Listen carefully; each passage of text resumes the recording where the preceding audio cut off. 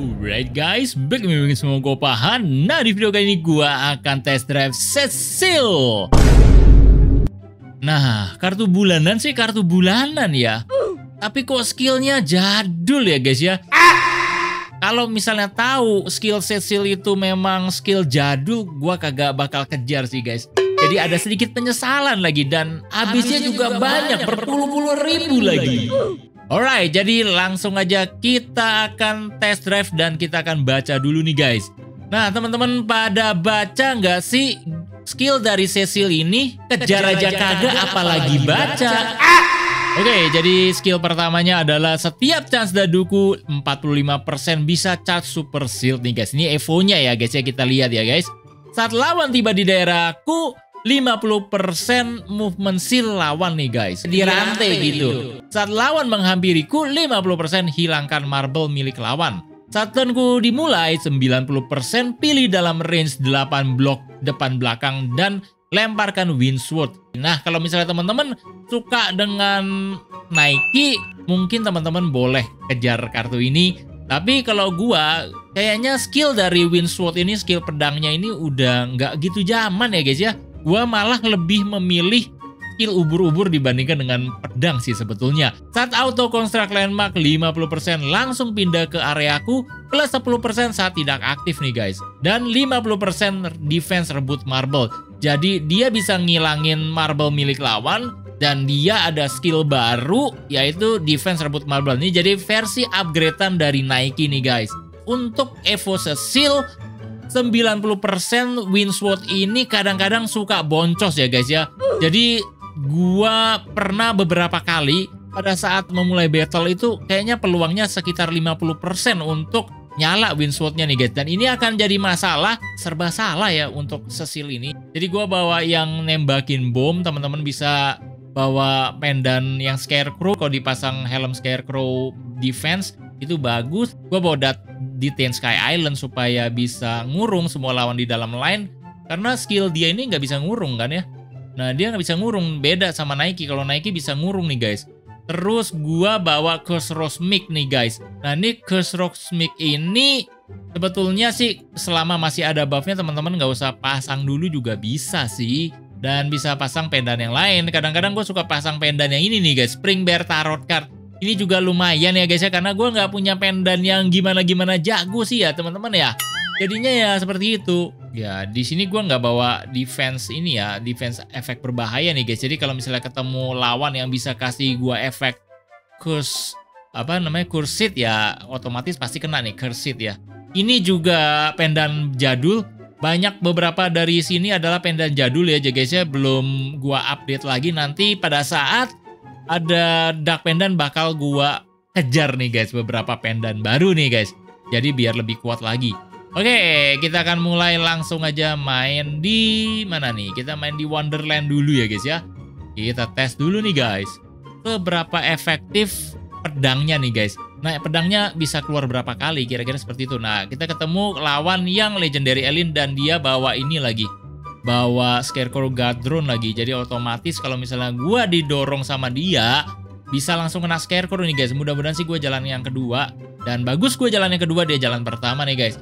Oke, dia ada ubur-ubur dan ubur-uburnya kadang-kadang bisa meresahkan. Dan kita akan lihat ya, teman-teman bisa lihat sendiri pada saat kita memulai permainan ini, apakah pedangnya aktif atau enggak nih guys di awal-awal ya guys, ya sering aktif atau enggak. Gue sih seringnya dapat enggak aktif ya guys, jadi kadang-kadang jadi, jadi bete juga nih guys karena auto constructnya juga jadi nggak ini ya gue akan ambil discharge aja karena lawan kita adalah kartu bangkrut. Dan di sini dia masuk penjara. Bagus dia masuk penjara ya. Gue akan nah kan nggak nggak aktif ya guys ya. Pertama-tamanya langsung nggak aktif nih guys. Jadi otomatis ya gue harus bangun landmark dulu nih guys. Nah ini gue repot ya. Ini udah buang dua ton nih Oke, kita akan pindah ke areaku aja sebelah sini dan iya.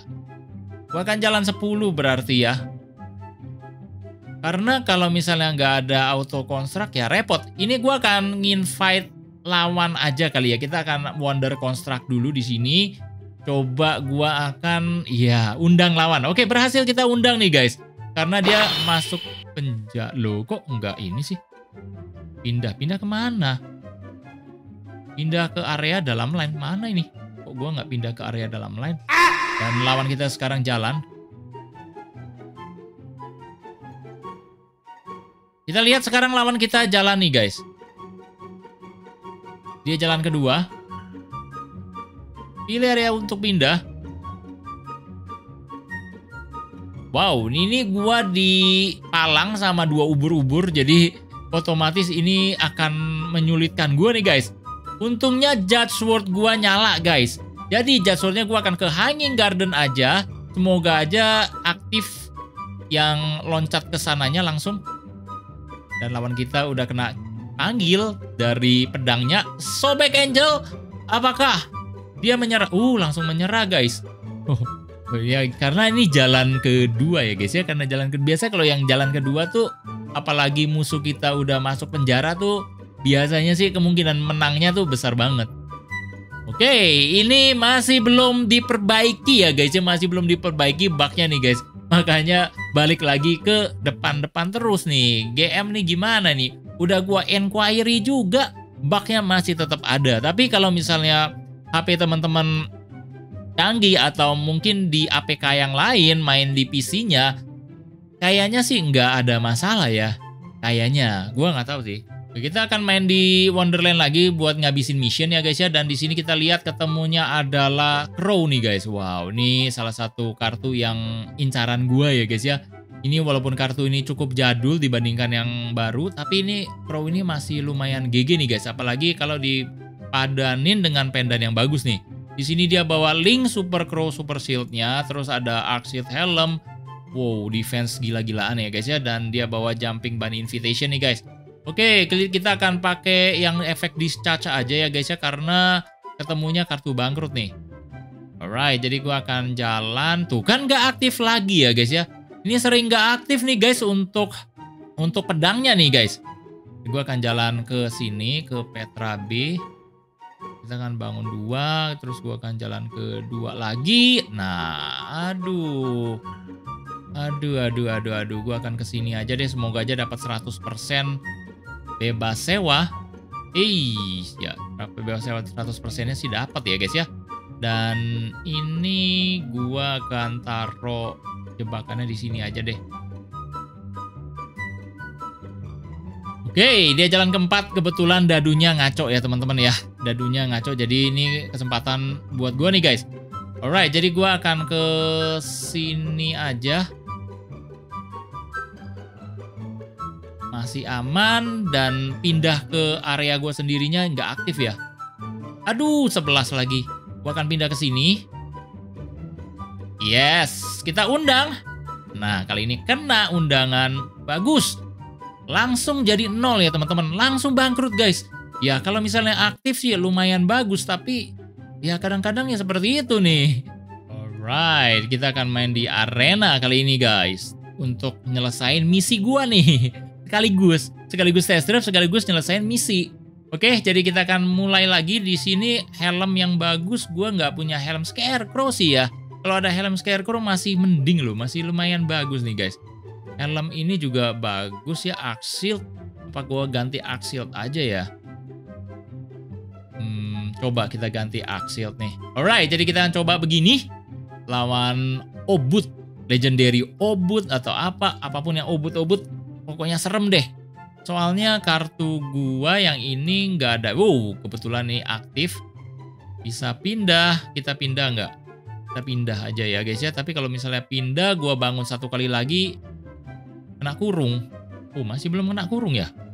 Gue bingung sistem kena kurungnya gimana ya guys ya. Gue akan jalan keempat lagi. Ih, jalan kedua. Astaga, dadunya ngaco anjir. Oke, kali ini obutnya jalan.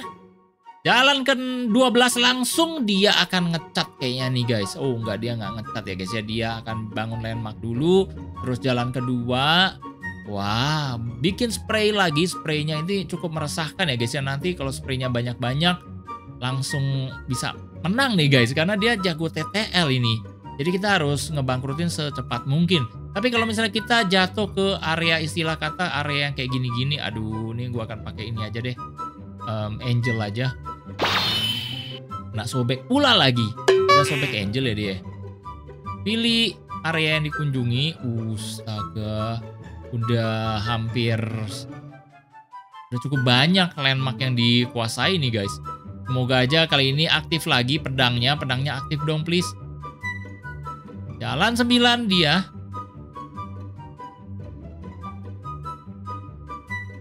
Ini kayak kartunya bukan kartu bulanan tapi kartu daur ulang gitu loh. Si Cecil ini ya guys ya. Kayak cuma upgradean doang nih. Gua akan mundur ke 12 aja kali ya. Semoga aja aktif untuk pilihannya. Nah, aktif. Bagus, gua akan coba undang lawan kita. Bisa pindah dia pindah ke mana nih? Oh, gila. Hampir ini ya. Oke. Aduh.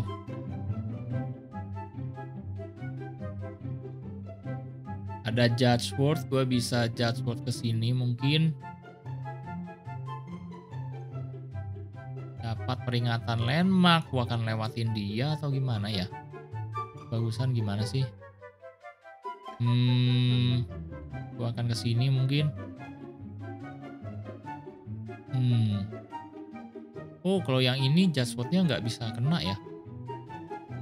Agak. Udahlah nih.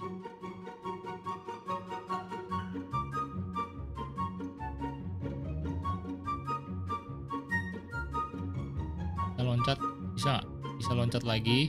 Oke, gua akan loncat ke sini. Kita akan Jasword ke sini. Masih beruntung, tapi Ya, dia kena curse word. Curse cursit ya. Iya, kena curse nih guys. Oke, jadi ini kesempatan gua. Gua akan taruh lagi Judge Sword-nya di sini supaya lawan kita kena lagi 11M. Hmm. Kayak kali ada 80M nih guys. Gue juga bingung dari mana tuh duitnya tuh. Hmm. Oke, gua akan ke 8. Semoga aja double dapatnya. Oke, nggak dapat double nih guys. Ya udah nggak apa-apa ya guys ya. Kita akan jalan ke 11. Kita undang lawan kita lagi. Kena kursit lagi nih guys. Habis duitnya karena kena skill dari ini ya. Oke, dia nyerah guys. Alright guys, jadi untuk sesil ini gua kasih nilai paling tinggi 6,5 doang. Apalagi kalau misalnya kartu ini ketemu lawan yang betul-betul meta saat ini kayak semacam Legendary Crow atau yang lainnya, otomatis ini sih kayaknya sih bakal jadi santapan nih guys. Apalagi Evo doang ya guys ya. Jadi ini menurut gua paling tinggi nilainya 6,5. Cuman buat main-main asik doang ya boleh lah. Teman-teman bisa kejar Cecil. Kalau misalnya teman-teman punya diamond yang cukup banyak, sebaiknya sih teman-teman skip aja kartu ini. Mending tunggu Anchor Money atau Anchor Crow. Kayaknya masih lebih bagus dibandingkan dengan Cecil nih guys. Karena skillnya itu memang udah cukup jadul dan ini beberapa cuman versi upgradean doang ya guys ya. Kartu ini bisa menang 9 kali, cuman mainnya domino. Jadi begini aja video gua kali ini buat teman-teman yang suka sama video ini teman-teman berikan like, komen, dan share ke seluruh media sosial teman-teman sehingga channel ini bisa berkembang lebih baik lagi guys. Oke okay, guys, see you guys on the next video guys. Jangan lupa juga teman-teman follow Instagram, Facebook, dan TikTok gue deh guys. Dan gue pakai Cecil ini paling mentok 5 kali menang di champion ya guys ya. Susah kalau mau menang 9 kali itu kayaknya nggak mungkin ya. Apalagi Evo doang nih guys. Oke okay, guys, see you guys on the next video guys.